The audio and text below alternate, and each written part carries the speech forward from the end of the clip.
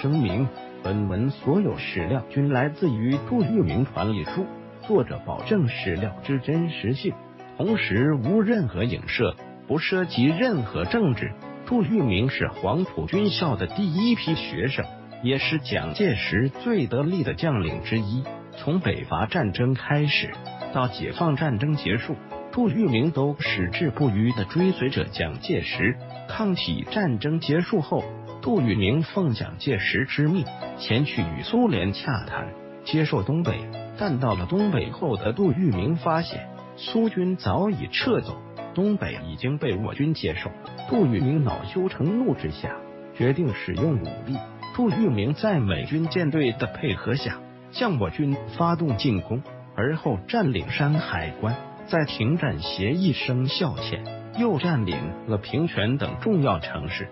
杜聿明的这些举措引起了巨大的社会舆论。一九四九年，解放战争进入尾声，杜聿明被蒋介石一纸调令。前去解救被围困的黄百韬，已经身心俱疲的杜聿明终于感到了恐惧。杜聿明率领自己的主力驰援黄百韬，但因轻敌大意，贸然追进，不但没有解救黄百韬兵团，还使其陷入重围，全数被歼。杜聿明本想撤退，但蒋介石又下令让他去解救黄维兵团，杜聿明彻底绝望。但是与蒋介石淫威，只好前往，而后被我军在萧县俘虏。杜聿明当时率领十余名随从突围，被捉后想要隐藏身份，当做普通士兵，但是他的一个举动却被解放军士兵给识破。杜聿明被捉后，想要去厕所大解，征得同意后，在士兵的陪同下前往厕所解手后，杜聿明从自己的兜中。掏出一团白花花的东西擦屁股，这把我军士兵看呆了。当时卫生纸这种东西还没有普及，只有少数人才能使用。解放军士兵以为是棉花，认定此人的官职一定不小，于是就上报给了上面。市政委陈茂归得之后，亲自前来审问。杜聿明前言不搭后语，自知隐瞒不下去，就抓起了地上的一块砖头。朝自己脑袋给了一砖，而后晕死过去。杜聿明被紧急送往卫生院接受治疗。